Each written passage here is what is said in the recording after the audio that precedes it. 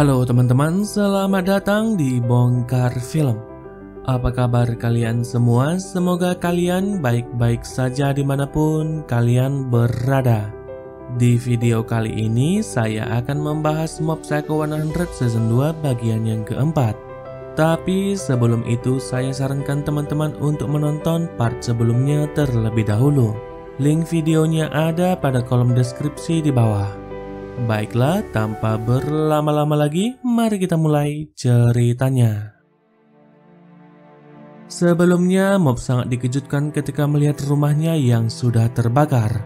Dia juga hampir saja hilang kendali ketika melihat semua keluarganya sudah hangus terbakar. Beruntungnya, Ekubo langsung menenangkannya dan memberitahukan jika yang dilihatnya bukanlah jasad manusia melainkan hanya sebuah boneka. Ekubo juga berpikir jika ada esper lain yang ingin mengelabui Mob. Dan tak butuh waktu lama Mob berhasil menemukan dua esper tak jauh dari rumahnya menggunakan kekuatannya. Di saat melihat Mob, kedua esper itu pun langsung menyerangnya. Dengan mudahnya Mob bisa mengalahkan mereka berdua.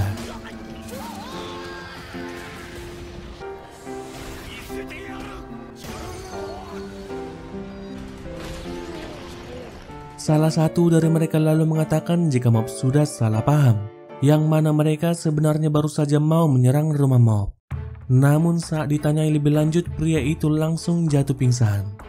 Sesaat kemudian Koyama dan Sakurai tiba-tiba datang menjemput Mob. Mereka adalah mantan anggota organisasi Cakar yang sudah bertobat. Mob lalu dibawa ke tempat di mana Regen dan yang lainnya berada. Di tempat itu, Eko lalu menceritakan kepada mereka semua apa yang baru saja terjadi. Setelah itu, Regen lalu mengatakan jika keluarga Mok mungkin baik-baik saja. Dan juga kemungkinan ada orang yang sudah menyelamatkan keluarganya. Mendengar itu lantas membuat Mob sangat lega dan langsung jatuh pingsan. Semua mantan anggota Divisi 7 organisasi Cakar ternyata sudah berguru kepada Regen. Sejak Regen mulai terkenal dan juga masuk ke televisi yang mana mereka ingin kekuatan mereka bermanfaat bagi masyarakat. Selain itu, mereka juga memberitahukan jika orang-orang dari markas pusat organisasi cakar yang sudah menyerang mereka. Mereka juga orang yang sama yang sudah menyerang mob dan juga menyerang kantor regen. Sesaat berselang Teruki tiba-tiba datang ke tempat itu serta membawa salah satu orang dari markas pusat organisasi cakar untuk diinterogasi yang mana terkuak jika bos dari organisasi itu sudah berkeliling dunia untuk merekrut para esper yang kuat. Sementara itu di tempat lain, bos organisasi cakar yaitu Suzuki Toichiro sedang memberikan arahan kepada semua esper yang sudah direkrutnya, yang mana mereka berencana melancarkan sebuah revolusi untuk menguasai dunia. Mereka juga menyiarkan hal itu secara online kepada semua orang. Di lain sisi terlihat Ritsu bersama dengan Shio dia adalah putra Suzuki yaitu sang pimpinan organisasi Cakar yang sangat menentang rencana sang ayah untuk menguasai dunia. Ternyata sebelumnya dia datang untuk menyelamatkan Ritsu dan kedua orang tuanya. Dia juga lah yang sudah menempatkan boneka manusia di rumah Mob agar orang-orang dari organisasi Cakar berpikir jika Mob dan keluarganya sudah tewas. Sementara itu di tempat yang berbeda, para esper rekrutan Suzuki mulai diberikan arahan untuk melakukan pemberontakan yang mana satu dari anggota mereka harus mengalahkan seribu tentara atau polisi yang ada di negara itu, mengingat mereka semua yang hanya berjumlah 600 orang. Namun ada sekelompok esper yang sangat pesimis dengan rencana revolusi itu. Mereka malah hendak memberontak dari organisasi itu dan ingin menghancurkannya. Semula mereka bisa mengalahkan satu persatu para petinggi divisi organisasi itu. Namun ketika berhadapan dengan pasukan utama dari organisasi cakar mereka sama sekali tak berdaya.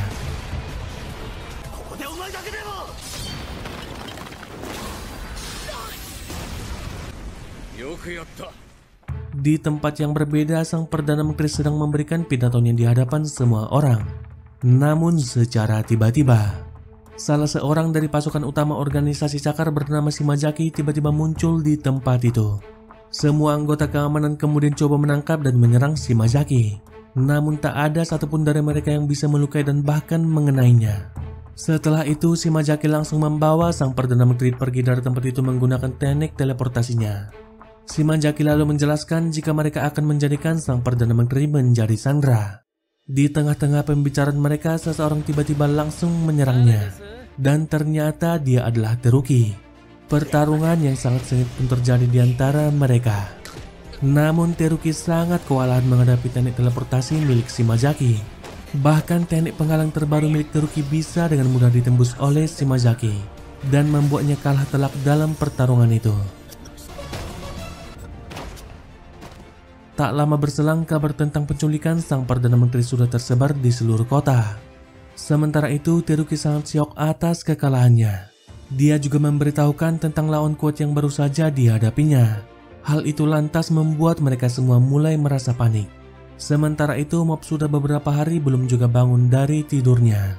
Sedangkan itu organisasi Cakar baru saja mengambil alih gedung tertinggi di kota Rempah. Para polisi dan tentara juga mulai memblokade di area sekitar gedung itu. Namun para esper rekrutan Suzuki dapat dengan mudah menghancurkan blokade pertahanan mereka.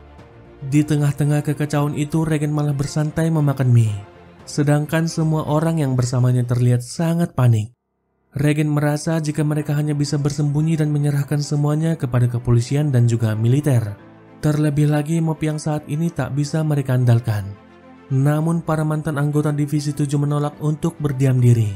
Mereka lalu berencana hendak menyerang langsung markas organisasi Cakar. Sesaat kemudian Regen tiba-tiba mendapat panggilan telepon dari kantor asuransi. Dia dikabari jika uang asuransi atas kebakaran kantornya tak dapat dicairkan, dikarenakan penyebab kebakarannya yang tidak diketahui. Mendengar itu lantas membuat Regen sangat marah. Dalam sekejap dia pun langsung berubah pikiran. Dengan semangat berapi-api dia kemudian mengatakan akan memimpin mereka semua untuk menyerang markas organisasi Cakar. Hal itu dilakukannya agar bisa menyeret orang yang sudah membakar kantornya ke kantor asuransi. Di tengah kota, Shio dan Ritsu dihadang oleh salah satu pasukan utama dari organisasi Cakar. Dia bernama Minegisi sang esper pengguna tumbuhan. Sementara itu, Regen mulai menyusun rencana untuk melakukan penyerangan. Dia juga membagi mereka semua menjadi dua tim, yang mana sebagian dari mereka akan mengalihkan perhatian para esper dari organisasi itu sedangkan yang lainnya akan menyusup melalui gorong-gorong yang ada di bawah kota. Namun tak lama setelah itu orang-orang dari organisasi Cakar berhasil menemukan markas persembunyian mereka. Regen lalu coba membawa mob untuk bersembunyi namun usahanya sia-sia.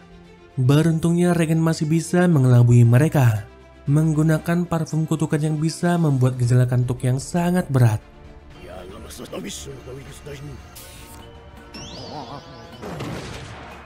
Sialnya salah satu dari mereka tiba-tiba saja terbangun dan langsung menyerang Regen.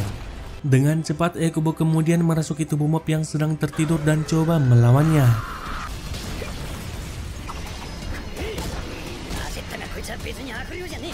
Namun Ekubo sama sekali bukanlah tandingan bagi pria berotot itu. Tak punya pilihan lagi, Ekubo lalu pergi melarikan diri dari tempat itu. Namun pria berotot itu tak juga berhenti mengejarnya. Ekubo kemudian coba berbaur ke dalam keramaian untuk mengelabuinya. Namun secara kebetulan juga Ekubo melihat Subomi yang ada di tempat itu. Hal itu lantas membuatnya sangat panik dan tak ingin terjadi apa-apa kepada Subomi. Dengan cepat dia coba menghadang pria itu menggunakan kekuatan penghalangnya. Sayangnya penghalang Ekubo tak bisa menahan pukulan pria itu.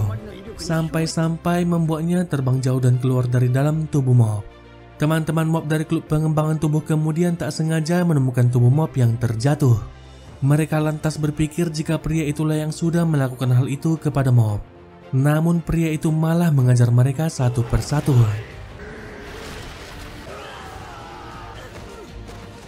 Setelah itu dia lalu hendak menghabisi mob.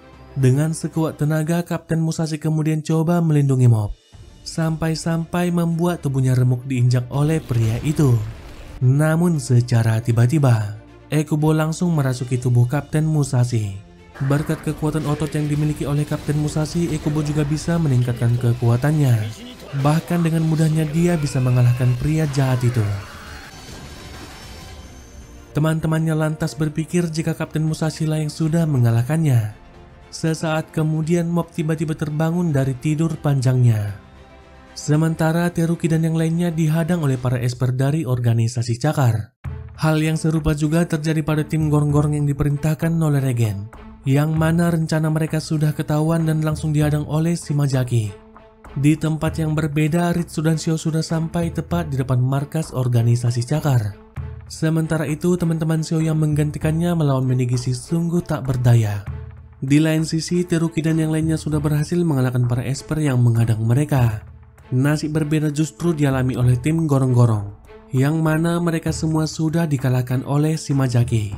Sementara itu, Ritsu meminta Shio untuk masuk dan segera menghentikan ayahnya. Sedangkan dirinya yang akan melawan Shimajaki yang sudah menghadang mereka. Namun Ritsu sama sekali bukanlah lawan yang setimpal bagi Shimajaki. Di tengah kota, Mok melihat para esper organisasi cakar yang sedang menjarah toko. Mob kemudian coba memperingatkan mereka agar tak menggunakan kekuatan psikis mereka kepada orang lain. Namun mereka malah mengolok-olok dan juga mentertawai Mob. Hal itu lantas membuat Mob sangat marah. Bahkan aura kemarahannya saja sampai membuat mereka sangat ketakutan. Di saat yang bersamaan, Minigisi tiba di tempat itu dan langsung menyerang Mob. Mereka semua lalu menyerang Mob secara bersamaan. Hal itu lantas membuat mob sedikit kewalahan. Namun tiba-tiba Matsuo muncul dan langsung mengeluarkan semua roh jahat miliknya. Hal itu lantas membuat banyak dari mereka lari ketakutan. Namun semua serangan roh jahat itu tak ada apa-apanya bagi Minegisi. Tak sengaja sebuah botol milik Matsuo kemudian terjatuh dan diambil oleh salah satu esper di tempat itu. Dengan sangat panik, Matsuo coba memperingatkannya agar jangan menyentuh benda itu. Tapi konyolnya pria itu tak peduli dan malah memecahkannya. Dalam sekejap mereka pun langsung jatuh pingsan. Dan ternyata botol itu bersihkan roh Mogami Kenji yang sangat kuat yang sudah dikalahkan oleh mob sebelumnya. Setelah itu Mogami Kenji lalu hendak membunuh Minegishi. Mob yang melihat itu kemudian meminta Mogami untuk menghentikannya. Mob berkata jika Minegishi juga manusia yang bisa berubah. Hal itu kemudian diikuti oleh Minegishi yang berjanji tak akan berbuat jahat lagi. Mogami yang sudah terkena jurus ceramah dari Mob lantas tak bisa berbuat apa-apa lagi. Dia kemudian melepaskan Menegisi dan pergi meninggalkan mereka. Di lain sisi, Ritsu masih berjuang mati-matian menghadapi Shimajaki. Sesaat kemudian Shimajaki lalu hendak membunuh Ritsu. Beruntungnya Teruki dan yang lainnya sudah tiba dan langsung menyelamatkannya. Mereka lalu coba menyerang Shimajaki secara bersamaan. Namun si Manjaki bisa menghindari semua serangan combo mereka dengan kekuatan teleportasinya. Kendati demikian mereka tak mau menyerah dan terus menyerang untuk memojokkannya. Sedangkan itu Shio sudah berhasil masuk dan akhirnya bertemu dengan sang ayah. Sang ayah lalu meminta Shio untuk berhenti menghalanginya. Namun Shio tak peduli dan langsung menyerangnya. Namun Shio sama sekali bukanlah tandingan bagi ayahnya. Xiao kemudian coba menyerang sang ayah dengan jurus pamungkasnya, yaitu bom energi yang sudah disimpannya selama tiga bulan. Namun tiba-tiba seorang pria berpayung muncul dan dapat dengan mudah menahan serangan Xiao. Dia adalah Jawa tangan kanan Suzuki. Jawa lalu membujuk Xiao untuk kembali kepada mereka. Namun Suzuki berkata jika hal itu sia-sia karena Xiao sudah memberontak. Suzuki lalu memberitahukan kepada Xiao alasan sesungguhnya berkeliling dunia yang mana sebenarnya dia ingin mencari Esper yang lebih kuat darinya. Namun tak ada satupun yang bisa ditemukannya, dan itu membuat tekadnya untuk menguasai dunia semakin kuat. Mendengar itu lantas membuat Shio berpikir jika ayahnya sudah gila. Namun berbeda dengan Sir Jawa yang malah sangat kagum kepada Suzuki. Perlahan Suzuki kemudian mulai mendekati Shio. Dia hendak memperlihatkan kepada Shio sedikit kekuatan yang sudah disiapkannya selama 20 tahun. Sedangkan itu Teruki dan yang lainnya masih terus berjuang menghadapi si Majaki. Namun tak ada satupun dari serangan mereka yang berhasil mengenainya. Si Majaki bahkan berbalik menyerang mereka semua satu persatu dan membuat mereka tak berdaya sama sekali.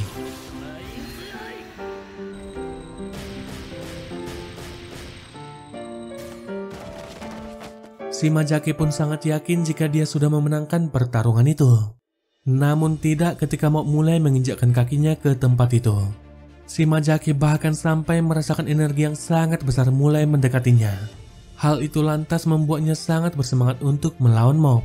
Namun tanpa disadarinya, Regen tiba-tiba muncul dan langsung melancarkan pukulan pertahanan dirinya kepada si Majaki. Si Majaki pun sangat tak percaya ada Esper yang bisa menghilangkan hawa keberadaannya seperti Regen. Dia juga semakin panik ketika mau memanggil Regen sebagai guru. Tak punya pilihan lagi, si Majaki pun langsung menyerah. Namun hal itu malah membuat Mob semakin marah karena Shimazaki berkata jika dia hanya bersenang-senang. Melihat kemarahan Mob dengan cepat Shimazaki pun langsung melarikan diri. Setelah itu Mob lalu berkata jika dia akan pergi sendirian untuk menghadapi bos organisasi Cakar. Hal itu dikarenakan semua orang sudah terluka parah selain dirinya. Semula hal itu sangat ditentang oleh adik dan teman-temannya. Namun mereka tak bisa lagi mencegahnya ketika Mok berkata jika mereka hanya akan membebaninya. Tak punya pilihan lagi, Regen lalu meminta Ikubo untuk mengikuti Mop. Di saat baru memasuki tempat itu, Mop langsung dihadang oleh Seri Jawa. Mop lalu memperingatkan Seri Jawa atas kejahatan yang sudah mereka lakukan. Namun Seri Jawa tidak memperdulikannya. Dia sangat percaya kepada Suzuki yang mengatakan jika menguasai dunia membutuhkan pengorbanan. Kemudian kita akan dibawa kembali ke tiga tahun yang lalu. Seri Jawa adalah seorang pemuda yang sudah mengurung dirinya selama belasan tahun di kamarnya. Sampai Suzuki kemudian datang menemuinya dan memberitahukan jika dia juga seorang esper sama seperti Seri Jawa. Seri Jawa lalu berujar jika dia merasa sangat pusing di saat keluar dari dalam kamarnya. Mendengar itu, Suzuki lalu memberikan sebuah payung kepada Seri Jawa. Dia meminta Seri Jawa untuk membayangkan jika dirinya sedang berada di kamar di saat membawa payung itu. Selain itu, Suzuki juga berjanji jika Seri Jawa akan baik-baik saja jika bersamanya. Setelah mendengar semua itu, Mop lalu berkata jika Suzuki hanya memanfaatkannya. Hal itu lantas membuat Seri Jawa sangat marah dan langsung menyerang Mop. Pertarungan yang cukup sengit pun terjadi di antara mereka. Namun tiba-tiba si Rizal sangat panik dan juga langsung meledak ketika dia terpisah dengan payungnya. Mok pun akhirnya tersadar jika Seri Jawa sangat cemas. Dia kemudian coba menyadarkan Seri Jawa menggunakan jurus ceramah yang sering digunakan oleh Regen kepadanya. Mop juga mengatakan jika orang-orang dari organisasi Cakar bukanlah teman Seri Jawa. Mendengar itu lantas membuat Seri Jawa sangat marah. Dia merasa jika Mop tak mengetahui apa pun tentang kehidupannya yang mana pada masa lalu dia selalu dianggap aneh dan tak mempunyai teman sama sekali. Hingga akhirnya Suzuki datang dan menjadi orang pertama yang mau menerimanya. Dengan rasa amarahnya, Serizawa lalu menyerang Mob dengan seluruh kekuatannya. Namun secara mengejutkan, Mob bisa menahan serangan Serizawa dan bahkan menyerap semua energi miliknya.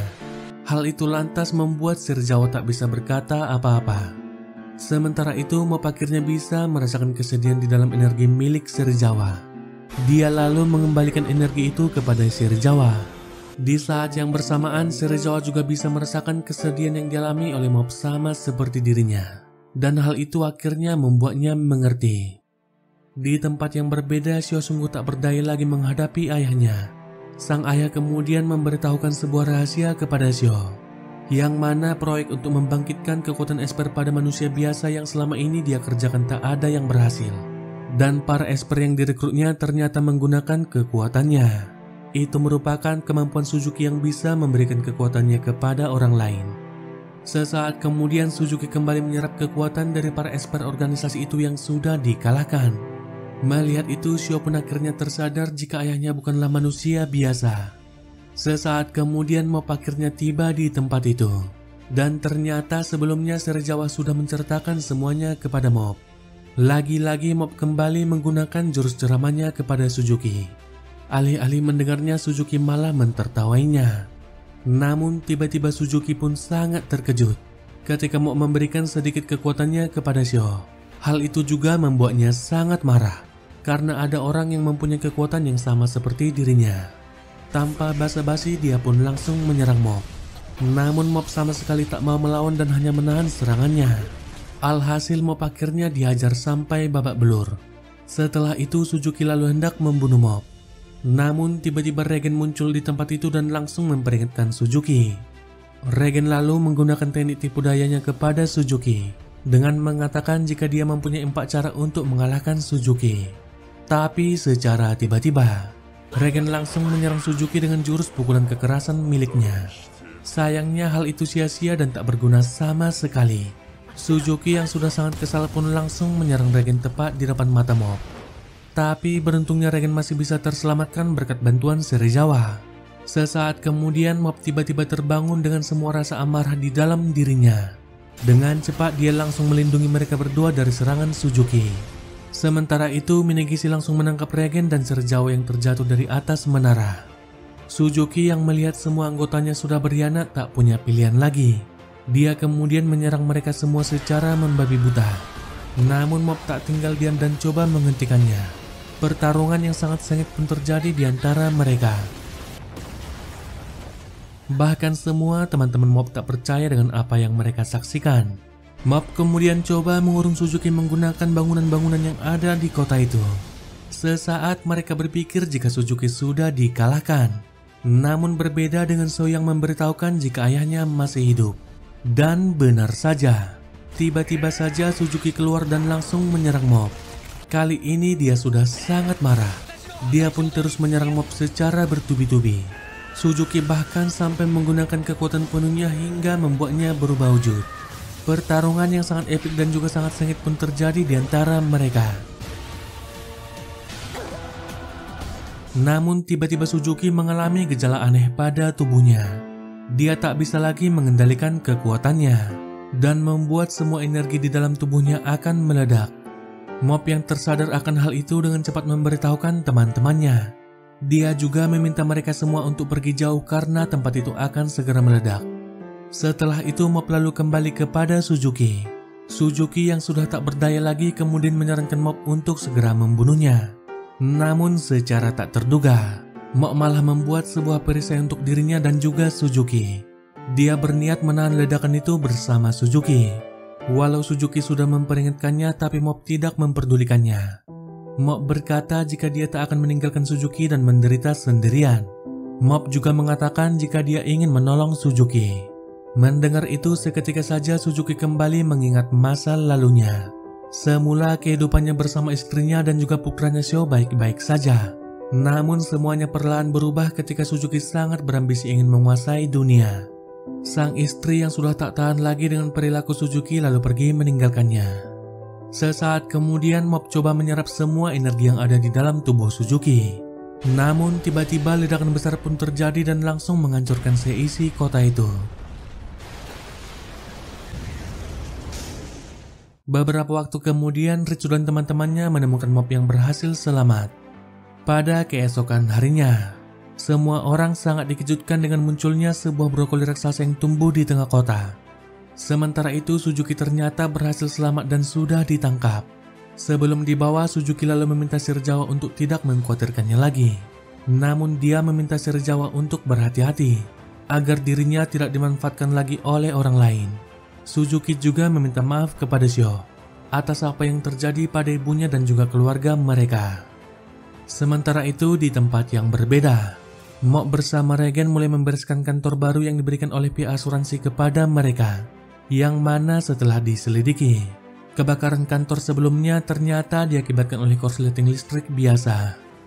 Sesaat Mok tiba-tiba teringat akan sesuatu, yaitu benih brokoli yang pernah diberikan Regen sebagai bayarannya ternyata selalu dia simpan di kantong seragam sekolahnya. Dan karena ledakan energi besar di malam sebelumnya, benih itu kini sudah tumbuh menjadi brokoli raksasa yang ada di tengah kota. Sesaat kemudian Seri Jawa datang ke tempat itu. Ternyata Regen sudah menawarkan Seri Jawa untuk bekerja padanya. Dan film pun berakhir. Baiklah teman-teman, sekian alur cerita Mob Psycho 100 Season 2 bagian yang keempat. Dan sekaligus penutup pada season yang kedua. Jika teman-teman suka dengan video ini jangan lupa subscribe dan juga nyalakan lonceng notifikasinya. Baiklah, saya pamit dan sampai jumpa di video selanjutnya.